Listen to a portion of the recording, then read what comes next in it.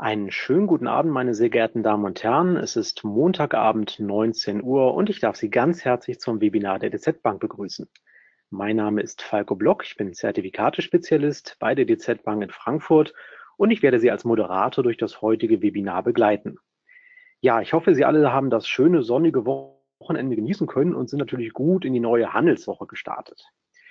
Jetzt mit einem Blick auf die aktuellen Teilnehmerzahlen, ja, freue ich mich doch, dass wir hier richtig gute, äh, ich sage mal, Anmeldezahlen sehen können. Wir haben nämlich auch im Rahmen unseres äh, unserer Roadshow sehr viele Neuanmeldungen äh, erzielen können, was uns sehr freut. Und ja, an dieser Stelle möchte ich auch die Neueinsteiger, die jetzt zum ersten Mal dabei sind oder vielleicht auch vom, vom vorangegangenen Woche das zweite Mal dabei sind, ganz herzlich hier begrüßen und ja, freue mich entsprechend zusammen mit Ihnen hier auf einen angenehmen äh, Webinarabend, dass Sie viel mitnehmen können. Am vergangenen Montag, da war mein Kollege Michael Bissinger vom DZ Bank Research Jahr zu Gast. Der hat die fundamentale Marktseite beleuchtet, auch vor dem Hintergrund der dann noch anstehenden Bundestagswahl. Diese ist jetzt gestern pro forma entschieden.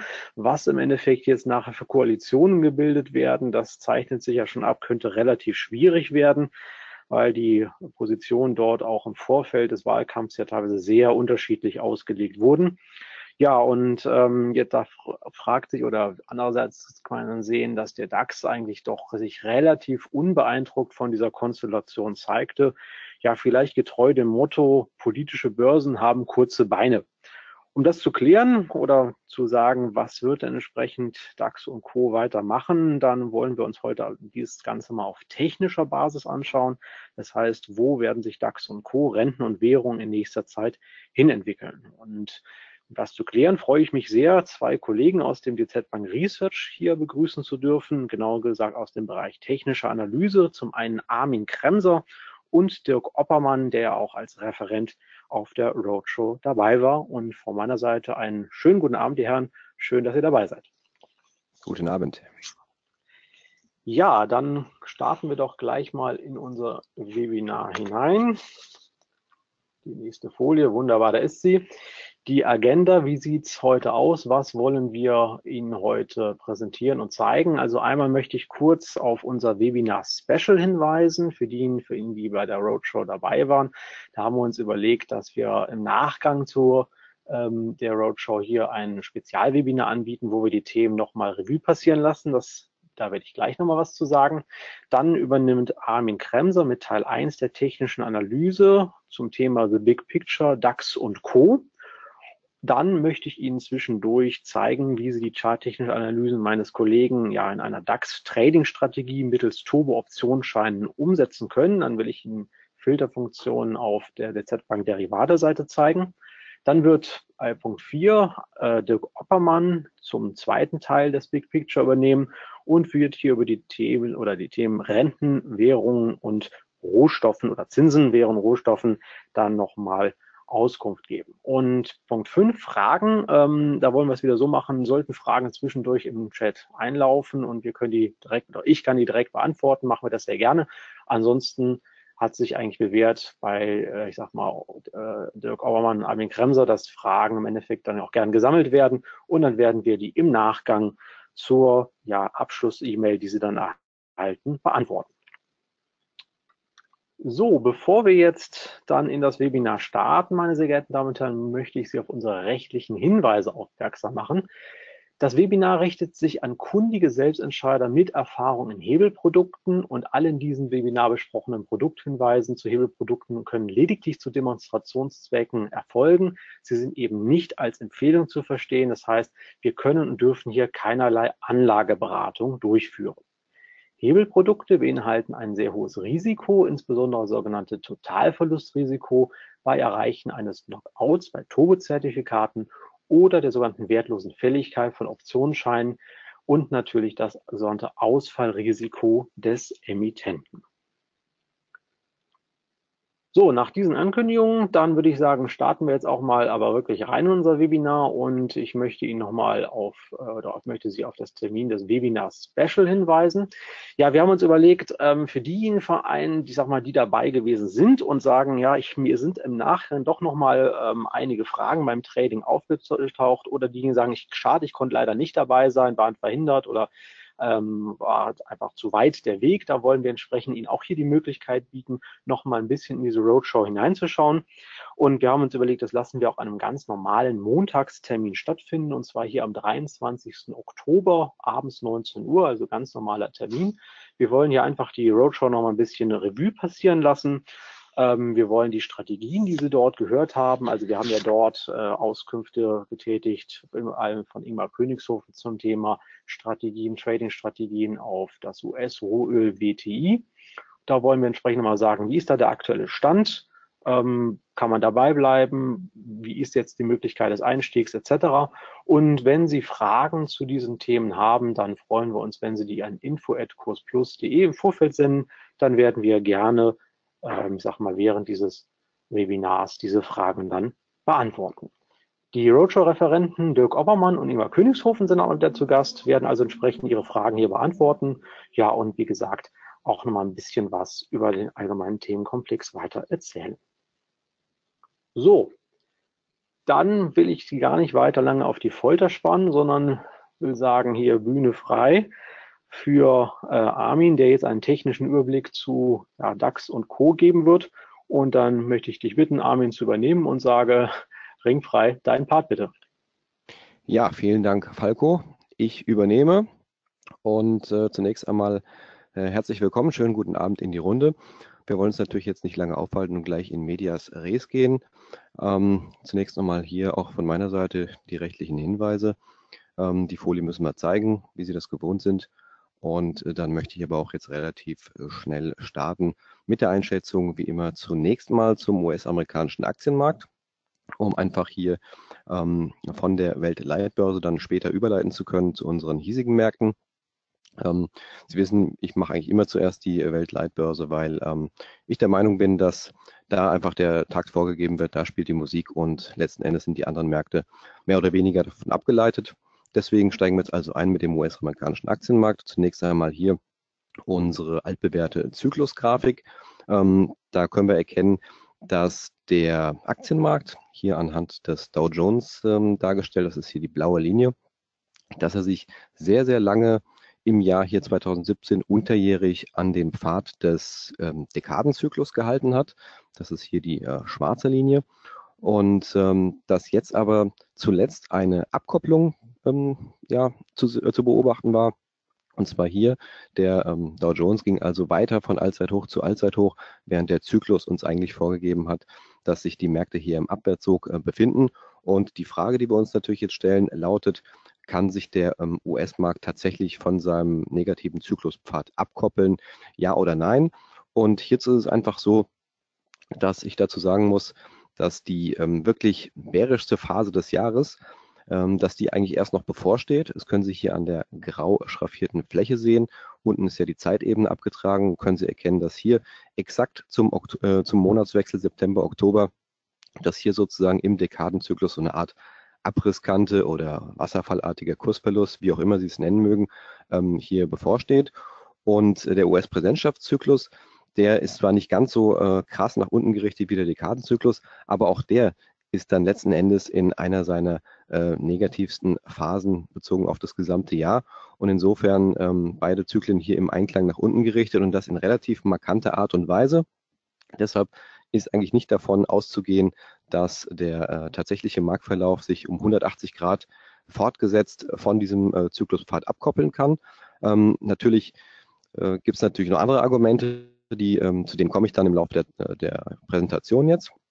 Ähm, man muss natürlich immer ein, ein, Puzzle oder die einzelnen Puzzlestücke sinnvoll zu einem Gesamtbild zusammensetzen und wir werden dann im weiteren Verlauf sehen, dass es eben auch noch andere Aspekte gibt, die also auch dafür sprechen, dass der Markt jetzt ähm, ab Oktober eine sehr, sehr ja, ungünstige Phase äh, durchlaufen sollte. Dann schauen wir uns mal ein paar Charts selbst an. Äh, zunächst einmal der S&P 500 hier auf äh, Daily-Basis. Da haben wir bis jetzt einen blitzsauberen Aufwärtstrend. Der Aufwärtstrend ist auch auf allen drei ähm, wichtigen charttechnischen Zeitebenen, also Primär, Sekundär und Tertiär, intakt. Zuletzt haben wir hier ein neues Bewegungszugleich Allzeithoch etablieren können. Ähm, und äh, haben damit auch nochmal den Ausbruch aus der vorherigen Konsolidierungsflagge, die Sie hier orangefarben eingezeichnet sehen, äh, bestätigt.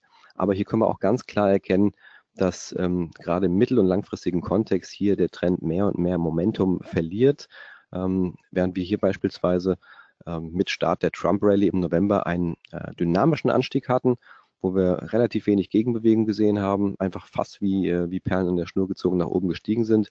Ähm, schleppen wir uns jetzt mehr oder weniger nur noch von hoch zu hoch, da ist also keine Dynamik mehr im Markt. Und unser Kursziel bei 2535 Punkten das hier das 161,8% Fibonacci Retracement der eben erwähnten Flagge. Das ist ja auch nur noch ein marginales Restpotenzial, sodass hier sich zunehmend das Chance-Risikoprofil äh, zu der Bullen ähm, verändert. Dann ähm, ganz wichtig, der Nasdaq war eigentlich lange Zeit das äh, Zugpferd der ähm, Aufwärtsbewegung am US-Aktienmarkt insgesamt. Wir haben das gesehen hier ähm, gerade äh, mit Beginn der Trump-Rally, dass eigentlich das Technologiesegment eine starke Outperformance gezeigt hat, hier nochmal richtig steil angestiegen ist bis in den Sommer des laufenden Jahres. Und dann gab es hier nur eine kleine, äh, ja, kurzlebige Konsolidierung oder Korrektur, wie auch immer man es nennen mag. Und jetzt im Anschluss ähm, haben wir auch nochmal so einen Moment, ähm, einen momentumarmen Aufwärtstrend hier äh, gesehen. Und im Elliott Wave technischen Sinne sieht das für mich relativ klar nach einem fünfteiligen Impulsmuster aus. Und zwar haben Sie dann hier in dem letzten Sommer, also 2016, hier die Welle 1, dann hier eine flache äh, Korrektur als Welle 2 und dann äh, dieses ähm, hauptsächliche oder das größte, dynamischste Teilstück dieses Gesamtimpulses als Welle 3. Und jetzt sind wir eben hier höchstwahrscheinlich, man muss immer ähm, dazu sagen, es sind natürlich nur Annahmen im Rahmen von Wahrscheinlichkeiten. Ähm, die Elliott-Wave-Theorie ist natürlich auch nicht der Weisheit letzter Schluss. Aber wenn wir eben klare oder klar zu definierende Kursmuster erkennen, dann können wir sie eben recht äh, ja, nutzbringend anwenden.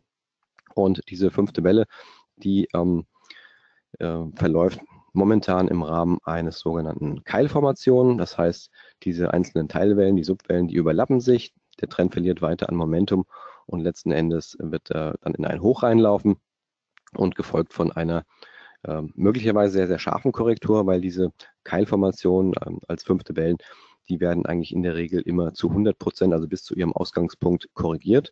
Und dann wären wir hier wieder beim Niveau von ähm, 5000, äh, ich glaube, das sind 5600 Punkte. Und es wäre also ein Korrekturrisiko von etwa 7%, wobei wir natürlich davon ausgehen, dass wir den Endpunkt dieses gesamten Impulses eben noch nicht gesehen haben. Äh, man muss natürlich jetzt auch erstmal abwarten, äh, wie der heutige Tag dann ausgeht, weil wir sind ja heute deutlich schwach im Nasdaq und äh, wir sollten jetzt auch nicht, nicht mehr allzu viel Terrain äh, verlieren, damit dieses Szenario noch Gültigkeit hat, damit er nochmal die Chance bekommt, tatsächlich hier nochmal ein höheres Hoch zu machen. Ansonsten würde ich nämlich sagen, hätten wir das hoch gesehen und würden direkt hier auf die 5600 Punkte Marke zusteuern. Dann haben wir das US-Halbleitersegment, den Philadelphia Semiconductor Index, auch ein sehr, sehr wichtiges äh, Segment, ist in aller Regel eher frühzyklisch zu interpretieren. Und hier haben wir auch ein relativ klares fünfteiliges Impulsmuster. Auch hier mit der Welle 3, die den dynamischsten Teilimpuls, was natürlich auch an Aktienmärkten üblich ist, hier repräsentiert. Und da haben wir zuletzt so eine Art ja, Pattsituation zwischen Bullen und Bären gehabt, ging auch mehrere Monate von Juni bis, ähm, bis August. Haben wir so eine Art symmetrisches Dreieck gebildet, was dann jetzt in der jüngsten Bewegung noch einmal nach oben aufgelöst wurde, trendfolgend, aber ähm, derartige Dreiecke, die gehen dann eben einer finalen äh, Welle voraus. Das heißt, wir können jetzt hier die Annahme treffen, dass wir uns in der Welle 5 befinden die aber höchstwahrscheinlich auch noch nicht äh, gelaufen ist. Und im Anschluss sollte dann auch hier sich eine relativ stattliche bzw. satte ähm, Abwärtsbewegung ergeben, die dann auch hier diese primäre Aufwärtstrendlinie verletzen würde.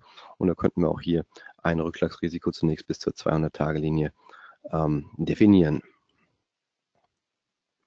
Was bedeutet das insgesamt für den Dow Jones? Ähm, da hatten wir ja mal gesagt, dass wir hier ein, ähm, ja, ein Kursziel, ein Indexziel von 22.120 Punkten hatten, äh, auch im Rahmen eines übergeordneten fünfteiligen Elliott-Impulses, nämlich der mit Beginn des, ähm, des des Jahres 2009 im März damals ein wichtiges Tief markiert. Jetzt eben ein, äh, eine neue Hosse, die aber jetzt auch in den letzten Zügen liegt. Und äh, diese 22.120 Punkte Marke, die wir mal als Ziele definiert hatten, ähm, das war eine wichtige Fibonacci-Projektion und äh, der Markt hat auch im ersten Anlauf da Halt gemacht, ist dann umgekehrt, aber wie wir gesehen haben, wurde dieses Niveau ähm, zuletzt auch wieder übertroffen. Was heißt das jetzt für unsere Analyse? Nun, das heißt für unsere Analyse nicht, dass dieses gesamte Szenario grundsätzlich Quatsch ist, sondern es bedeutet lediglich, dass wir es hier nochmal mit einer Verlängerung dieser letzten, ich zeige es nochmal hier, diese Welle römisch 5, das ist also die letzte Impulswelle im Rahmen dieses übergeordneten Hosse-Zyklus und die geht jetzt sozusagen noch einmal in die Verlängerung, hat unser Ziel bei 22.120 Punkten übertroffen. Und da müssen wir natürlich jetzt auf Sicht fahren. Das ist so ein bisschen, bisschen eine undankbare Salamitaktik. Die ganz großen Kursziele lassen sich natürlich jetzt nicht mehr auf der Oberseite ableiten, sondern wir müssen jetzt einfach von, ich sag mal, von Fibonacci Ratio zu Fibonacci Ratio schauen. Und die nächste diesbezügliche Marke habe ich hier ganz dick eingezeichnet, ist 22.580 Punkte. Das ist hier ähm, eine 176,4 Prozent äh, Projektion. Und äh, das hat natürlich auch insgesamt Konsequenzen für unsere Elliott Wave technische Zählung. Denn nach dieser äh, neuen Betrachtung muss man, davon auf, äh, muss man davon ausgehen, dass wir immer noch in der Welle 3 stecken von diesem, ähm, von diesem Fünfer-Impuls und äh, somit es auch noch ein bisschen dauert, beziehungsweise weitere Zeit ins Land gehen wird, bis tatsächlich dieser gesamte Zyklus beendet ist. Und wir wissen aus der Theorie, dass die ähm, Welle 4 und die Welle 2, das, das sind ja zwei Korrekturwellen in diesem aufwärtsgerichteten Impuls, dass die sich in ihrer Art und Weise, wie sie ablaufen, unterscheiden müssen, sozusagen alternieren. Und in der Welle 2 haben wir eben eine breite angelegte Seitwärtsbewegung gesehen. Das bedeutet, dass wir eigentlich die Welle 4 als eher kurz und scharf ähm, ja, erwarten müssen. Und das wiederum deckt sich auch mit dem am Anfang gezeigten Zyklusverlauf, wonach ja der Dekadenzyklus wirklich im Oktober so eine Art äh, wasserfallartigen, ja, scharfen Kursverfall anzeigt. Und genau das könnte also jetzt sich jetzt hier auch im Rahmen der Elliott-Wave-Theorie manifestieren, nämlich dass wir einen scharfen Rückgang sehen auf der einen Seite, aber auf der anderen Seite dann zumindest im äh, kurzfristigen Bereich auch wieder äh, Kaufkurse sehen, denn dieser langlaufende Impuls ist dann noch nicht beendet. Ja, was kann man noch sagen? Ähm, wir sehen jetzt in letzter Zeit immer wieder das, ähm, das sogenannte smarte Geld. Ähm, ja, die jüngsten Hochs im Gesamtmarkt nicht mehr so richtig äh, bestätigt. Das hier der, die rote Linie ist der sogenannte Smart Money Flow Index, Index im Vergleich zum tatsächlichen Verlauf des Dow Jones Index, hier die blaue Linie. Ähm, dieser Smart Money Flow Index, der ähm, wird äh, berechnet, indem man ähm, der, das Trading der ersten halben Handelsstunde, sprich von 15.30 Uhr bis 16 Uhr, dass man das mit einer bestimmten Formel ins Verhältnis setzt zum, äh, zum Schlusskurs, also zu dem Kurs um 22 Uhr. Ähm, die Idee dahinter ist, dass das Trading in der ersten halben Handelsstunde von Emotionen getrieben ist, also zwischen Angst und Gier und dass die Marktteilnehmer da hauptsächlich auf äh, News und Newsveränderungen reagieren, während sozusagen die besser informierten oder die smarten Investoren äh, eher zum Handelsende hin agieren und insofern der 22 Uhr Kurs dann weitaus wichtiger ist als das, was in der ersten halben Handelsstunde passiert. Und wenn wir diesen Index betrachten, dann können wir, können wir sehen, dass sich an gewissen Wendepunkten im Markt immer sogenannte Divergenzen ähm, finden. Das heißt, dass dieser Smart Money Flow Index die, das, das Geschehen im Dow Jones Index nicht mehr bestätigt. Haben wir hier mal immer anhand der schwarzen Linien eingezeichnet. Bestes Beispiel hier natürlich ähm, 2008, 2009, als wir nochmal bis März 2009 damals gefallen sind und der äh, Smart Money Flow Index hier schon ein höheres Tief angezeigt hat, somit also Kaufdruck von, ähm, vom Smart Money und dann äh, kam es also hier zu der Trendwende. Und diese Divergenzen haben wir aber auch bei äh, kleineren Trendwenden beziehungsweise kleineren Korrekturen immer wieder gesehen. Hier auch 2011 insbesondere und zuletzt 2015, 2016. Und jetzt haben wir eben das Phänomen, dass wir eigentlich schon seit mehreren Monaten jetzt hier in diesem Indikator, in diesem Index absteigende Hochs äh, produzieren, während der Dow Jones munter weiter steigt, als gäbe es nichts. Und das ist natürlich also auch ein, ein starkes Warnsignal dahingehend, dass also hier eine Korrektur dann ähm, bevorstehen dürfte. Gleiches gilt natürlich für die Betrachtung der Marktbreite. Hier nochmal ähm, der Verlauf des S&P 500 Index, das ist die orangefarbene Linie, gegenüber der äh, Anzahl der NICE-Aktien, die auf einem neuen 52-Wochen-Hoch sich befinden.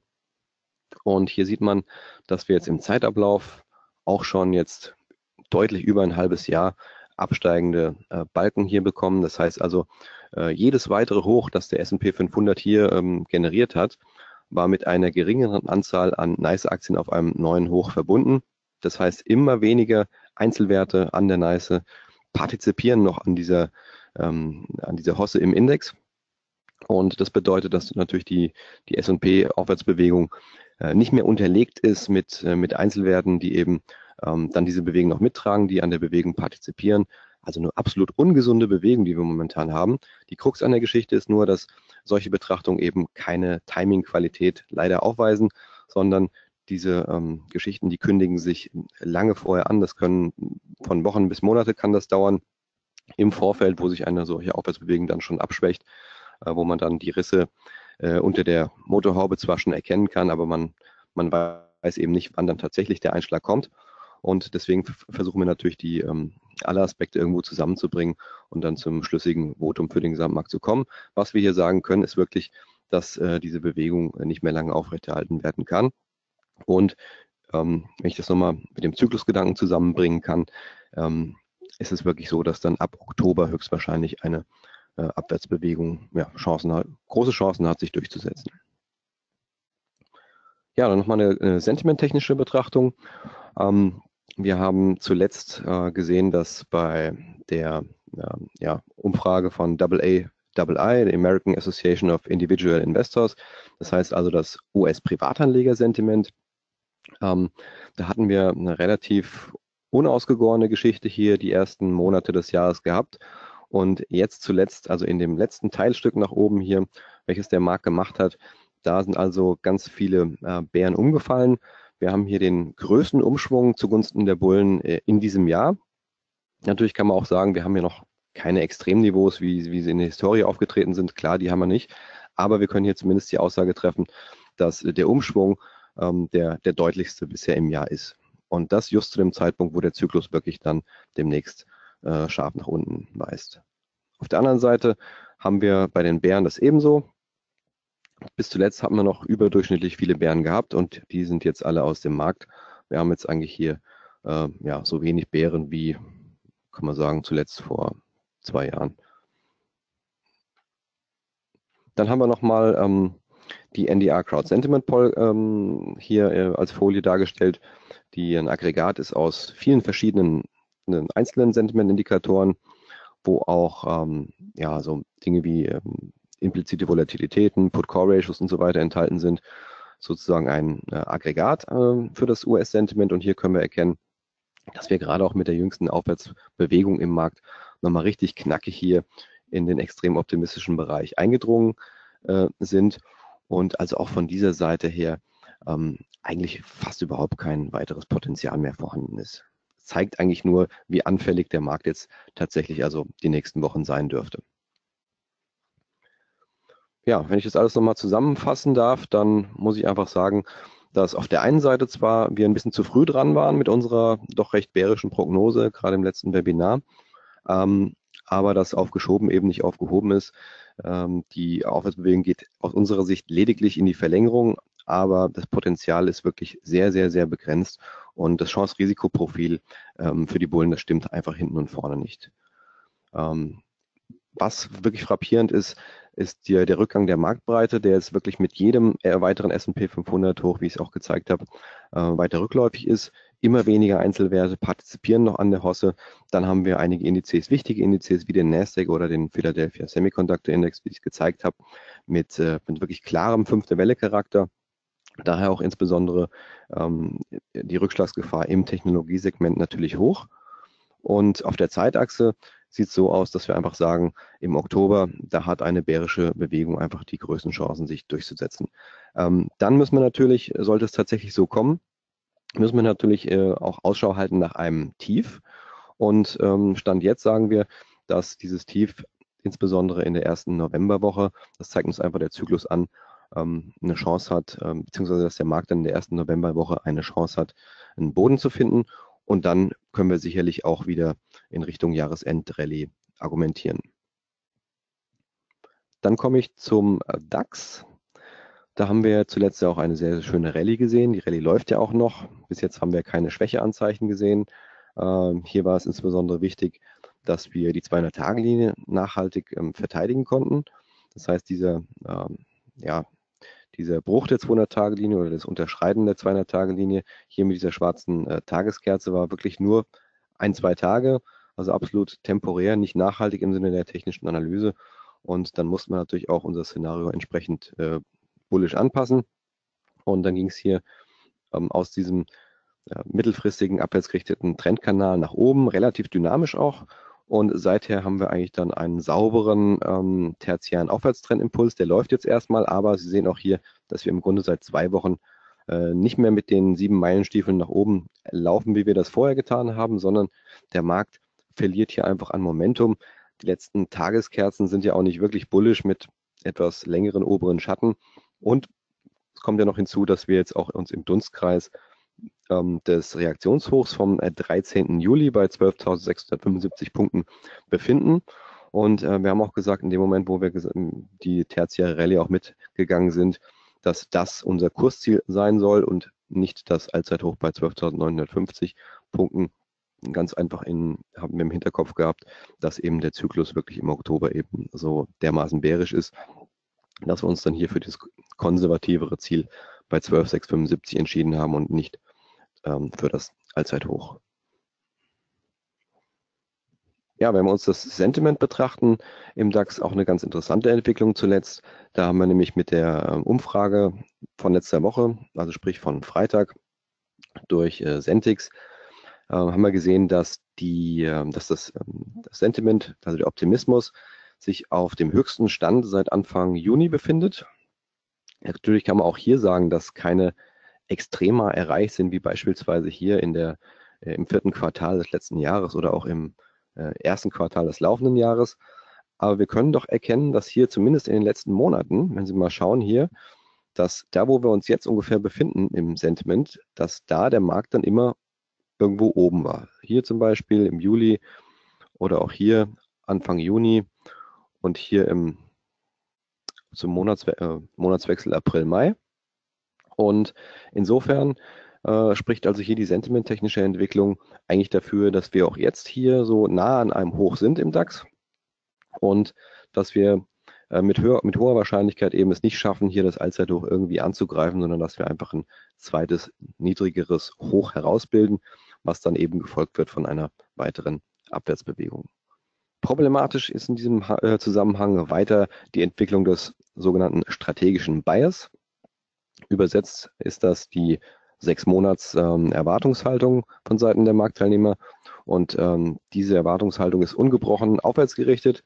Äh, gerade hier seit Mai ähm, hat sich dieser strategische Bias immer weiter verbessert. Das heißt, die Marktteilnehmer gehen eigentlich blind davon aus, dass ähm, jede, ähm, jeder größere, äh, ja, jede größere Kursdelle einen äh, lohnenswerten Kauf darstellt.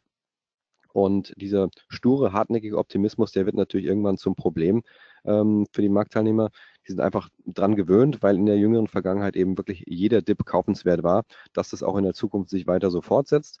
Äh, was momentan ähm, eine absolute Minderheit der Marktteilnehmer auf der Rechnung hat, ist ein äh, Top-Bildungsprozess.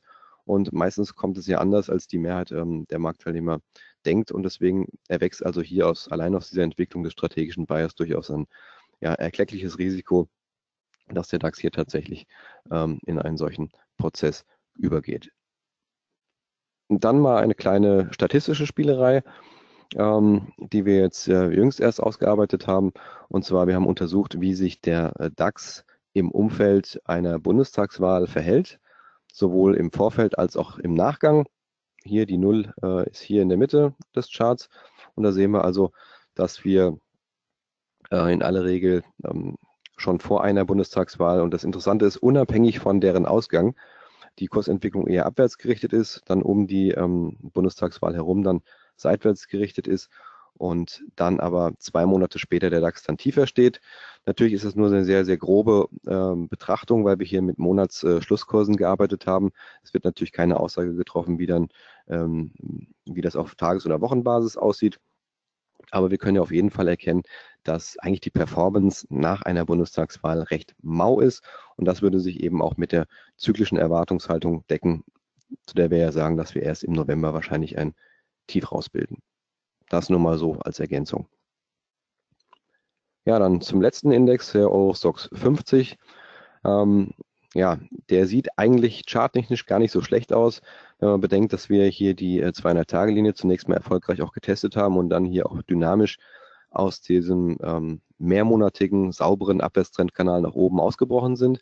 Die Krux an der Geschichte ist hier nur, wir hatten eigentlich nur einen einzigen Tag mit echter Dynamik, nämlich hier, das war die Ausbruchskerze aus dem Kanal und sofort danach ähm, haben wir hier schon wieder Momentum verloren, sind jetzt auch genau in dem ganz, ganz wichtigen und starken charttechnischen Widerstandsbereich um 3530, 3540 Punkte. Und da ist auch so ein bisschen so ein Deckel drauf, ähm, von dem wir jetzt nicht ausgehen, dass er, dass er wegfliegt, sondern ähm, das ist auch eine Art Anker für die Marktteilnehmer hier, dieser wichtige Widerstandsbereich. Und es ist also nicht davon auszugehen, dass wir hier dynamisch nochmal nach oben, äh, nach oben äh, beschleunigen und hier in etwa das letzte Bewegungshoch bei 3665 Punkten angreifen. Nein, wir gehen also auch hier davon aus, dass sich ähm, im Rahmen der Gesamtanalyse eher das Risiko äh, zeigt hier, dass wir einen zweiten niedrigeren Hochpunkt herausbilden. Und dann ist natürlich die Frage, wie weit kippt dann eine mögliche Bewegung wieder ab? Zunächst einmal wäre natürlich dann hier das letzte Tief. Ähm, das wäre natürlich dann im Fokus. Dann komme ich zur äh, Zusammenfassung. Ähm, ja, der laufende Kursaufschwung im DAX dürfte seine Schuldigkeit, ich sag mal, größtenteils getan haben. Äh, wir sind im Dunstkreis der 12.675 Punkte Marke.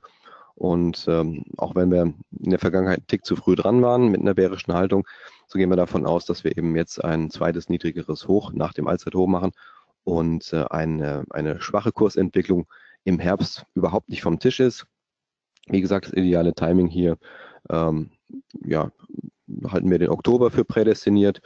Und die gute Nachricht ist dann, dass wir höchstwahrscheinlich in den letzten ja, sieben, acht, sechs, sieben, acht Wochen des Jahres dann nochmal eine Jahresendrallye bekommen.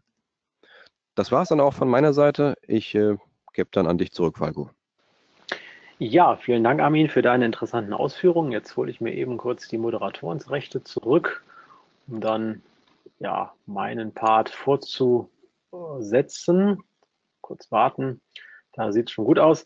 Ja, mal, liebe Teilnehmer, ähm, basierend auf dem, was Sie gerade von Armin Kremser vernommen haben, also der DAX dürfte in gewissem Maße sein Erholungspotenzial mittlerweile ausgeschöpft haben. Es bahnt sich zudem ein möglicher negativer Zyklus auch in den kommenden Monaten, äh, in den kommenden Wochen, so ab Oktober dann noch an. Und daher wäre vielleicht hier als Trading-Strategie zum DAX eine Möglichkeit, zumindest hier eine kurzfristige Short-Positionierung ähm, zu setzen, äh, als spekulative Idee. Und da möchte ich Ihnen mal kurz zeigen, wie Sie eben diese ich sag mal, Analyse und eben diese Idee in ein reales Produkt überführen können. Und das möchte ich gerne Ihnen zeigen über unser Derivateportal DZ Bank Derivate. Das rufe ich einmal hier kurz auf. Hoffe, dass es sichtbar ist. Jawohl, da ist es. Ähm, also ähm, gerne auch nochmal kurz für die Neuansteiger unter ihm, also dzbank-derivate.de. Ich markiere das hier oben nochmal mit der Maus ähm, unser Derivateportal, unser zentrales Informations- und Produkttool rund um Anlage- und Hebelprodukte und Marktinformationen, also alles, was Sie da für Ihren Trading-Erfolg brauchen, können Sie sich hier entsprechend anschauen. Und äh, jetzt möchte ich Ihnen kurz zeigen, wie Sie eben äh, hier ein passendes Produkt finden können. Und zwar möchte ich das ähm, hier oben über die Produktsuche machen. Ich gehe mal ganz langsam mit der Maus hier hin. Sie sehen oben diese verschiedenen grauen Balken. Ich wische da mal so ein bisschen drüber. Hier sehen wir Produkte. Ähm, da klicke ich kurz drauf und dann äh, für uns interessant ist die Rubrik Hebelprodukte. Also wir haben hier drei Bereiche. Einmal die Zertifikate, das sind also klassischerweise die Anlageprodukte, die etwas konservativeren, dann die Hebelprodukte und die Zinsprodukte. Wir wollen uns jetzt hier im Bereich Hebelprodukte aufhalten und hier vor allem im Bereich Endlos Turbos. Ähm, warum gerade oder sind diese interessant für eben diese kurzfristige äh, Trade-Idee? Ähm, sie sind relativ transparent, sie haben kaum oder so gut wie keinen Wohler-Einfluss, der Ihnen also entsprechend auch hier einen Strich durch die Rechnung machen kann. Sie haben keine Laufzeitbegrenzung. Ähm, die sogenannten Finanzierungskosten werden sukzessive eingepreist, also nur Stück für Stück und nicht komplett in einem Schlag, wie das beim begrenzten Turbo der Fall ist. Und deswegen eignen sie sich auch relativ gut für eben diese Kurzfrist-Trades. Dann wähle ich also hier entsprechend diese Endlos-Turbos einmal aus. Und äh, dann komme ich auf diese Übersichtsmatrix und jetzt möchte ich Ihren ähm, Blick einmal hier auf die linke Seite wenden. Sie sehen hier eben diese Produktsuche und jetzt kann ich entsprechend weiter äh, aus äh, oder herunterfiltern, weil aktuell, Sie sehen es hier unten, gefundene Produkte, alle insgesamt ähm, endlos Turbos über 17.000. Das ist natürlich äh, viel zu viel, was wir hier noch haben. Also gehe ich zunächst mal hier oben unter Basiswert auf Kategorie, wähle hier den Index aus, weil wir wollen ja im Endeffekt nachher einen Turbo auf den DAX haben. Dann kann ich entsprechend im nächsten, in der nächsten Rubrik, im nächsten Dropdown auf Basiswert gehen, gehe hier auf DAX. Dauert immer einen kurzen Moment.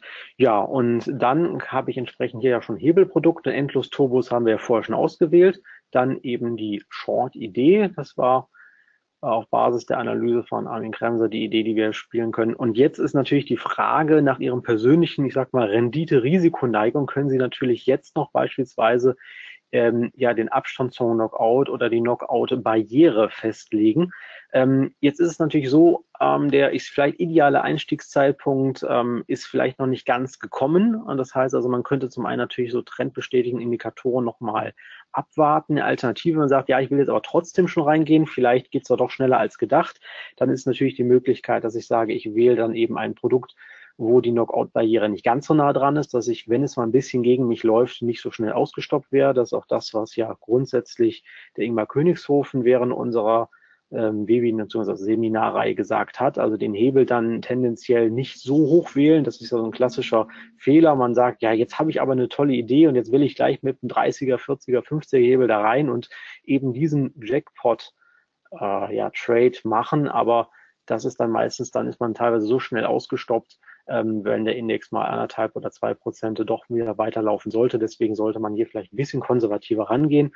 Ähm, ich gehe jetzt einfach hier mal in diesem Bereich Knockout-Barriere und gebe jetzt beispielsweise einfach mal, ja, sagen wir mal 13.500 Punkte an. Das heißt also, dort wollen wir mit der Knockout-Barriere starten. Drück kurz auf Enter.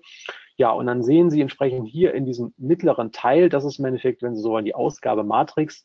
Hier kann man ablesen, welche Produkte stehen dann hier zur Verfügung. Und jetzt sind diese beispielsweise sortiert nach Hebel. Ich kann sie aber auch nach allen anderen äh, Kriterien, die Sie hier haben, äh, sortieren. Und jetzt kann ich entsprechend ein bisschen nach unten gehen. Ich mache das jetzt mal formhalber und sage einfach mal, gut, vielleicht nehme ich einen, wie gesagt, Hebel, der nicht ganz so groß ist. Und dann sehe ich auch schon, je niedriger der Hebel ist, desto höher ist entsprechend hier äh, auch dieser Knockout oder umgekehrt, je nachdem, nach welchen Kriterien man auswählen möchte. Und wenn ich jetzt irgendwann einfach mal einen von diesen äh, Produkten klassischerweise mal ähm, anklicke, dann bekommt man auf eine weitere Übersichtsmatrix, wo man dann sich das Produkt en Detail anschauen kann. Das heißt also hier nochmal zur Bestätigung oben endlos Turbo auf den DAX. Ich habe hier äh, Geld- und Briefkurs. Sie sehen hier aktuell 1 Cent Spread. Das ist klassischerweise das, was wir äh, immer anbieten. Dann scrolle ich mal ein bisschen runter, dann haben Sie hier einen Chart.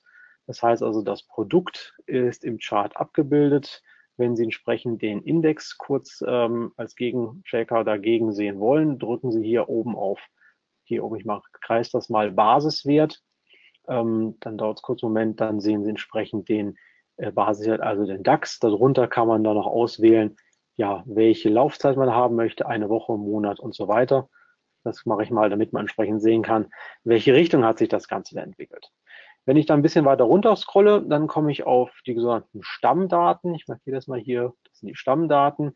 Da finden Sie entsprechend also nochmal die Beschreibung des jeweiligen Produktes, ähm, hier auch nochmal endlos. Hier ist die Knockout-Barriere. Und das ist eben auch immer wieder gefragt worden, ähm, was heißen hier Finanzierungskosten? Also wir haben einen sogenannten Anpassungsprozentsatz.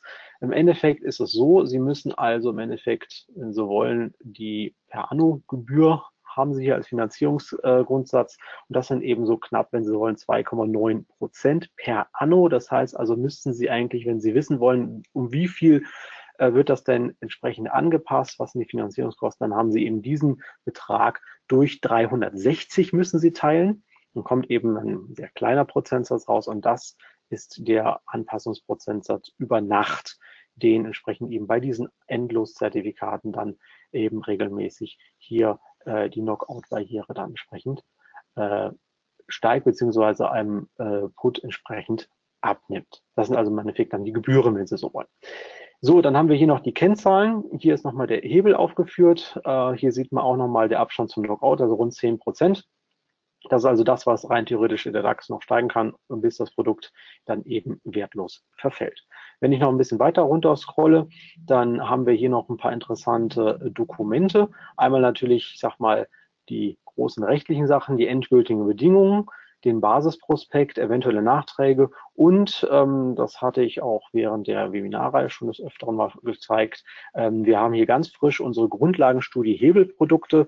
Auch wenn Sie im Endeffekt sagen, ich bin doch eigentlich schon Profi, mag ich Ihnen nochmal ins Herz legen, laden Sie sich die einfach kostenfrei herunter. Es ist ein, ähm, ja, gerade aktuelles Standardwerk, was wir herausgeben, wo einfach nochmal alles zum Thema, was ist eine Option, wie wird sie berechnet, Black Scholes, äh, und dergleichen mehr nochmal ähm, sehr breit, aber verständlich dargelegt wird, vereinfacht für denjenigen, der sagt, ich will noch mal ein bisschen was nachlesen oder vielleicht habe ich bei der einen oder anderen Sache nochmal ein kleines Defizit. Das können wir Ihnen da oder möchte ich Ihnen gerne ans Herz legen, einfach zum Runterladen. Dann, wenn Sie ähm, sich kostenfrei anmelden hier von der Seite, haben Sie hier die Analyse-Tools. Sie sehen hier zum Beispiel, wo wir sagen, Analyse-Tools nach DPA-X, Chart-Analyse, ähm, auch Research hier nochmal, wenn Sie also ein bisschen das verfolgen wollen, was äh, Armin Kremser und Dirk Oppermann täglich äh, machen, dann haben Sie ja entsprechend hier die Möglichkeit, sich technische Analyse Weeklies oder das Trader Daily runterzuladen, um immer auf den aktuellen Stand zu sein.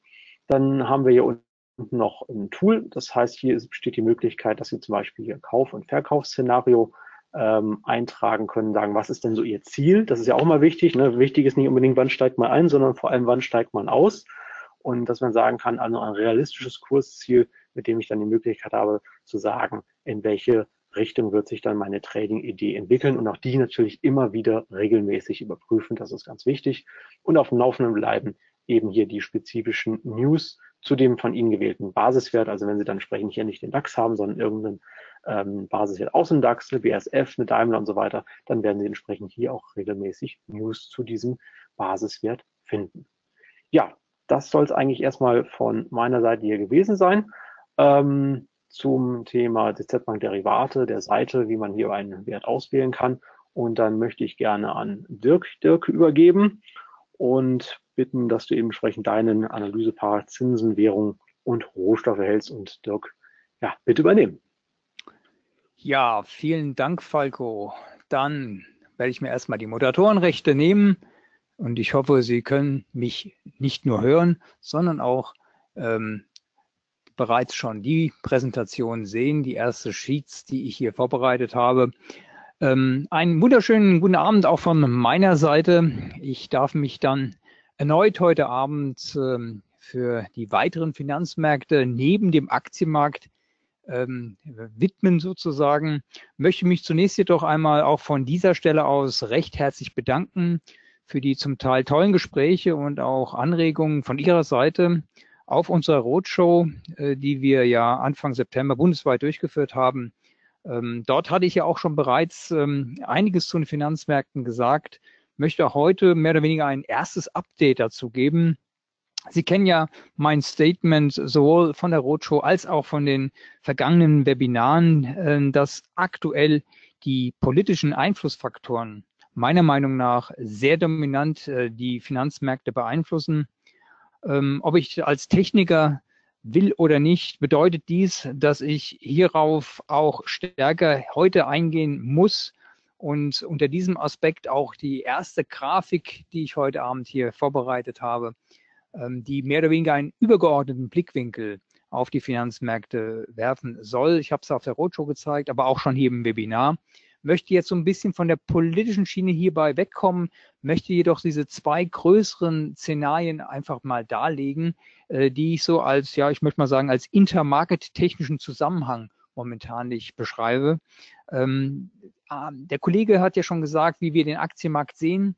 Ähm, wenn jedoch äh, die Aktienmärkte entgegen unserer Erwartung steigen, dann sollte dieses erste Szenario, was ich oben geschrieben habe, mit Trump liefert, Risk On, dann sollte dieses gesamte Szenario greifen. Und das bedeutet, dass wir zusammen mit festen Aktien dann auch äh, einen Zinsanstieg am Kapitalmarkt sehen sollten. Gold sollte in diesem Umfeld fallen und der US-Dollar sollte fester werden. Armin sagt es bereits schon, wir erwarten jedoch zumindest bis November erhöhte Konsolidierungsrisiken für den Aktienmarkt. Und deswegen auch gerade jetzt hier nochmal dieses zweite Szenario, was eigentlich unser präferiertes Szenario ist, dass wir jetzt äh, zumindest eine stärkere Konsolidierungsbewegung bei den Aktienmärkten erwarten sollten. Und dass dies bedeutet im intermarkettechnischen Gleichklang, dass die Zinsen am Kapitalmarkt eher fallen werden. Das heißt also, die Anleihenkurse steigen werden, dass äh, Gold auch in einem recht günstigen Umfeld sich befindet und dass der US-Dollar tendenziell in diesem Umfeld schwächer tendiert. Also wie gesagt, das sind diese zwei sehr stark widersprüchlichen Szenarien, aber zeigt doch auf, wie momentan nicht, äh, wie wir zumindest die Märkte sehen und wie wir versuchen, hier einen, ja, einen goldenen Schnitt sozusagen zu finden über die intermarkettechnischen Zusammenhänge, wie inwiefern wir auch dann ähm, über den Aktienmarkt sehr stark die anderen Märkte äh, sozusagen versuchen zu analysieren. Komme ich am Anfang zum Rentenmarkt. Und ähm, ja, da bin ich schon wieder mit drin in der Politik. Ähm, ich habe mal hier zunächst einmal den US-amerikanische zehnjährigen Anleihenzinssatz mitgebracht, die Rendite. Und äh, dort sieht man eigentlich seit Jahresanfang unter hohen Schwankungen, ja, wir befinden uns eher mal in einem Zinsrückgangsprozess, nachdem Trump-Impuls sozusagen äh, verpufft ist und äh, seitdem eigentlich auch die Fed mit den Zinserhöhungen, Sie sehen das, ich habe das eingekreist, wir haben ja insgesamt schon vier Zinserhöhungen gesehen seit ähm, äh, Dezember 2015, dass wir hier eigentlich ja so ein bisschen einen Deckel darauf äh, haben. Auch wenn wir bei der letzten Zinserhöhung so ein bisschen einen Zinsanstieg gesehen haben und insbesondere auch mit der Verlautbarung der FED am vergangenen Mittwoch, ähm, dort wurde mehr oder weniger von der FED bestätigt, dass mit der Rückführung der Fettbilanz ähm, begonnen werden soll im Oktober. Das heißt also, dass die US-amerikanische Geldmenge verringert werden soll.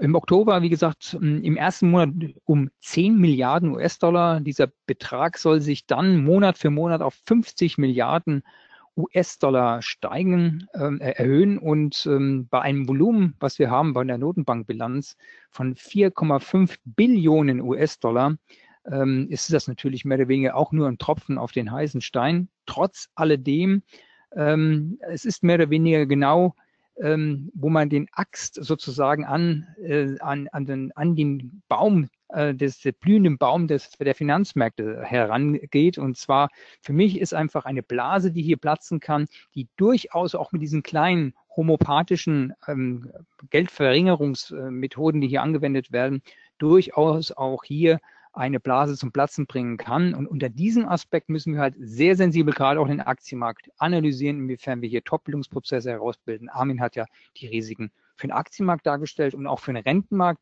sieht es ja genau andersrum aus. Ich gehe noch davon aus, dass wir weiterhin noch eine große Chance haben, dass der Zinsrückgangsprozess noch nicht zum Abschluss gekommen ist.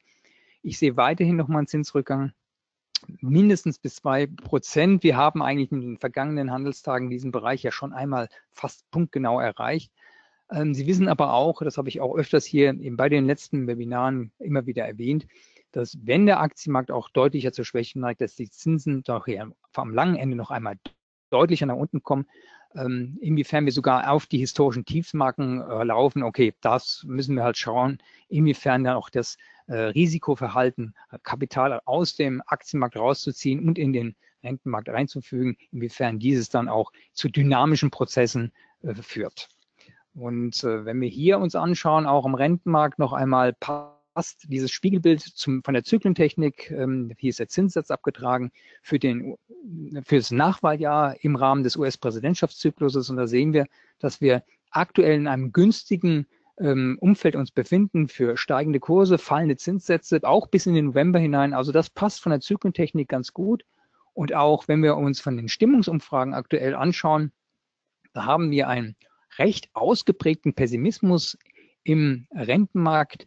Das heißt, niemand glaubt daran, dass wir hier noch einmal einen deutlicheren Zinsrückgang sehen sollten. Viele sind für einen positiven Aktienmarkt gestimmt und das bedeutet gleichzeitig, dass die Zinsen eher mal nach oben gehen sollten. Und deswegen gehen wir davon aus, dass gerade der Überraschungseffekt eher mal darin zu sehen ist, dass die Zinsen runterkommen. Und deswegen auch unser mehr oder weniger Blick für die zehnjährigen Zinssätze bei den Anleihen in Deutschland. Da sehen wir sehr schön, dass wir nochmal in Richtung 0,3 Prozent fallen sollten. Inwiefern wir dann sogar nochmal Richtung 0,15 Prozent oder sogar noch einmal Richtung Null laufen, auch das ist natürlich klar abhängig von dem, was am Aktienmarkt passiert. Ich erwarte zumindest hier noch einmal einen deutlichen Zinsrückgang. Und äh, dann gehe ich auch gleich schon zu den Währungen, zum Euro gegenüber dem US-Dollar.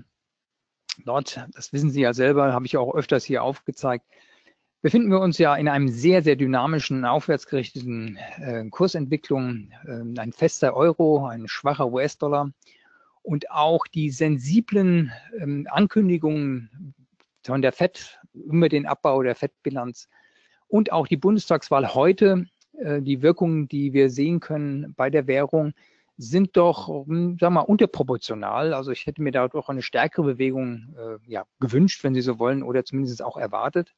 Und äh, wenn wir uns das nochmal anschauen von der Stimmungsseite her, können wir zunächst einmal sagen, wir hatten einen hohen Optimismus zugunsten des Euros und der ist jetzt auch abgebaut in den letzten äh, Umfragen.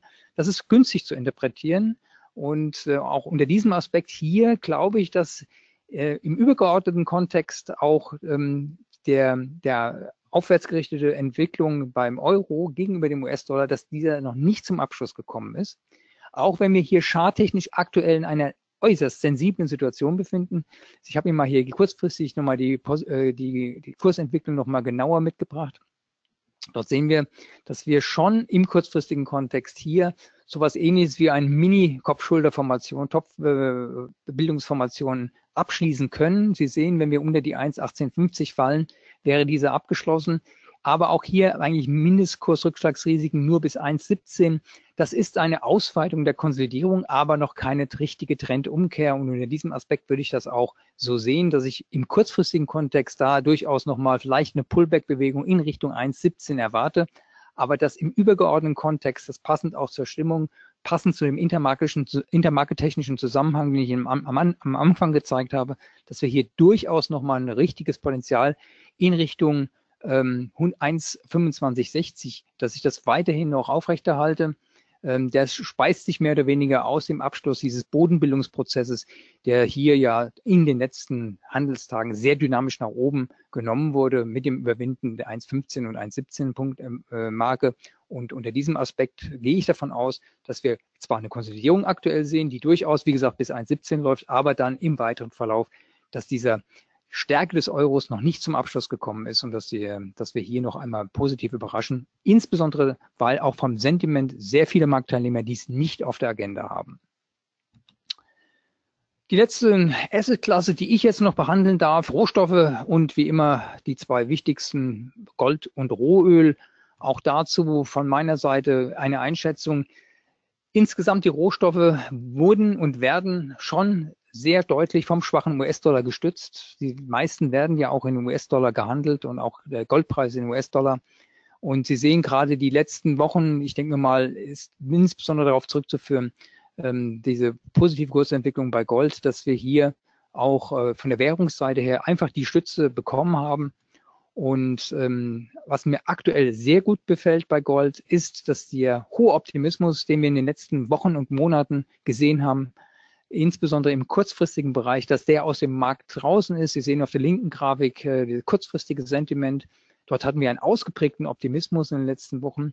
Der hat sich abgebaut mit der Konsolidierungsbewegung der vergangenen Handelstage. Wir sind jetzt auf in Richtung neutral, also noch nicht besonders antizyklisch, aber das reicht schon für mich, gerade bei Gold, ähm, dass, dass ich schon sagen kann, das ist schon fast eine Bereinigung vom Sentiment.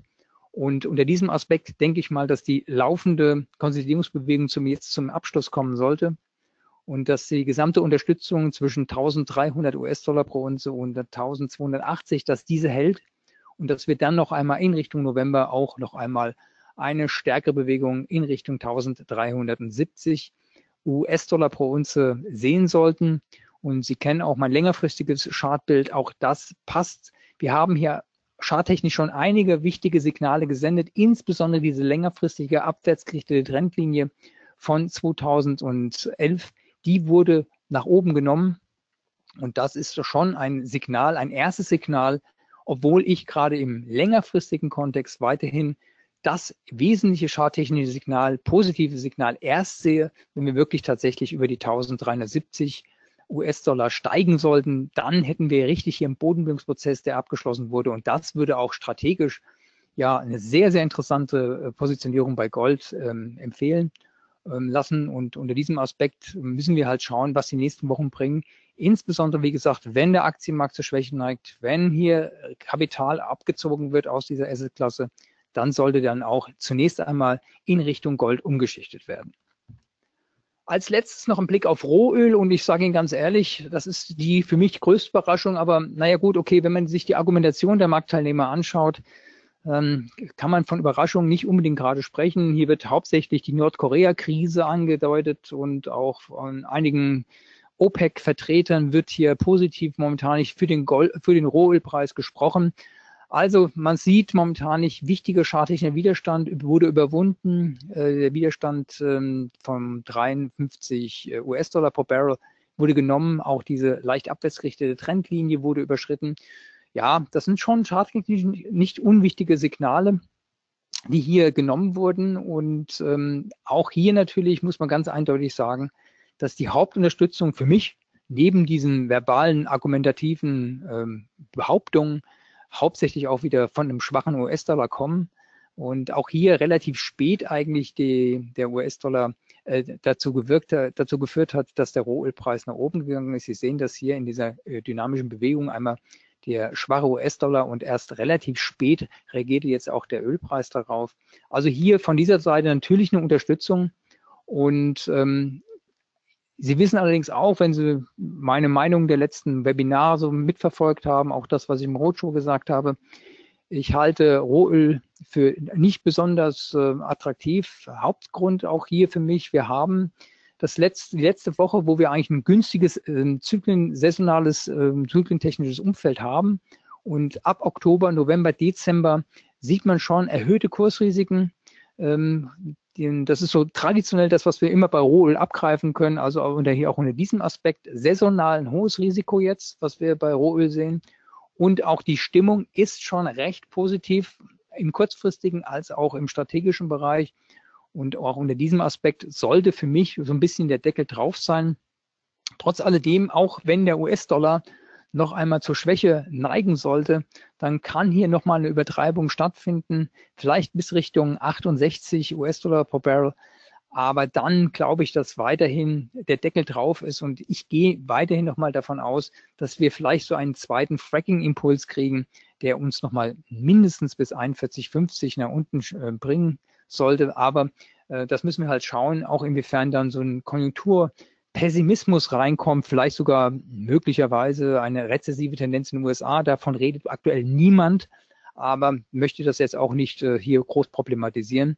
Ähm, das sind alles ähm, Szenarien, die durchaus dafür äh, sorgen können, dass der Rohölpreis unter Druck kommt und dann auch hier nochmal Schwäche zu erwarten ist. Ja, das war es wieder mal von meiner Seite. Ich darf mich recht herzlich bedanken für Ihre Aufmerksamkeit. Wünsche natürlich auch wie immer viel Erfolg und würde die letzten Worte gerne an Falco richten. Ja, Dirk, dann auch vielen, vielen Dank für deine Ausführungen. Äh, meine sehr geehrten Damen und Herren, damit sind wir auch schon beim letzten Part unseres heutigen Webinars angekommen. In Fragen. Jetzt werfe ich mal einen Blick auf unsere Chat-Funktion und ähm, ja, da danken Sie schon die ersten. Das freut uns natürlich, wenn es Ihnen gefallen hat. Und ich glaube, alle Fragen konnten wir ähm, beantworten. Das ist sehr schön. Ja, ich möchte mich deshalb an dieser Stelle ganz herzlich bei unseren beiden Referenten, Armin Kremser und Dirk Oppermann, für ihre interessanten und ausführlichen Analysen bedanken. Danke aber auch an Sie, meine sehr geehrten Damen und Herren, für Ihre zahlreiche Teilnahme. Und vor allem hoffe ich auch, dass den Neuansteigern von Ihnen unser heutiges Webinar gefallen hat. Ja, und wir Sie hoffentlich auch bei weiteren zukünftigen Terminen hier begrüßen dürfen. In diesem Zusammenhang möchte ich dann nämlich auch gleich hinweisen auf unser nächstes Webinar. So, Genau, das nächste Webinar, jetzt kurzes Achtung, weil ähm, ja nächste Woche Dienstag äh, ist ein Feiertag und aufgrund des Brückentages machen wir hier einmal Pause. Und das heißt, das nächste Webinar ist dann erst in zwei Wochen am 9. Oktober. Und da ist dann wieder die Trading-Gruppe 2.0 zu Gast mit Ingmar Königshofen, den Sie ja auch schon durch unsere Roadshow kennen, mit seinen Kollegen Reni Wolfram und Stefan Feuerstein. Hier geht es dann um Marktanalyse und Trading-Ideen, Sentiments und Co.